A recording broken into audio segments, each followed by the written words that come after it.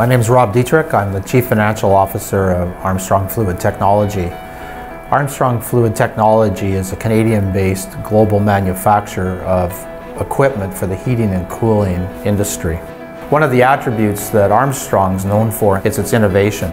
Armstrong produces the most energy efficient equipment in the heating and cooling industry globally.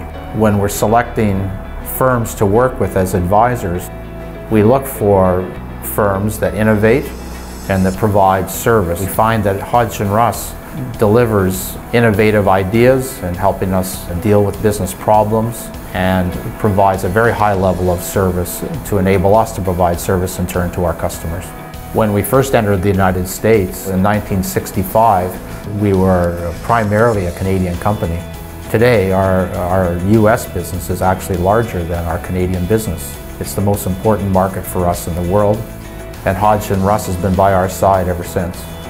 In order to grow a business in a market, you have to build a foundation, and that foundation comes from a combination of the products that you sell as well as the infrastructure that you develop to deliver those products. Part of that infrastructure is to have a good package of documentation and agreements to enable us to quickly bring on new customers and, and conduct business.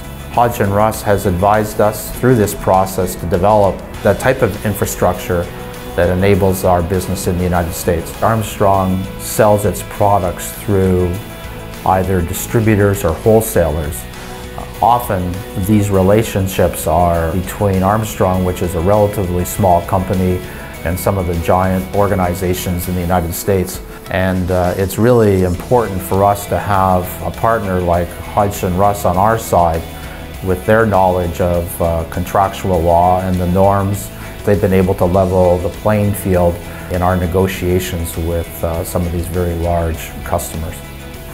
Growth of a business is never in a straight line up, uh, whether it's changes in the economy, changes in regulation, new sources of competition, there are always hurdles to overcome and I can imagine that in the future there will be issues that we'll have to resolve and we will be turning to Hodgson Russ to help us through those matters as they arise.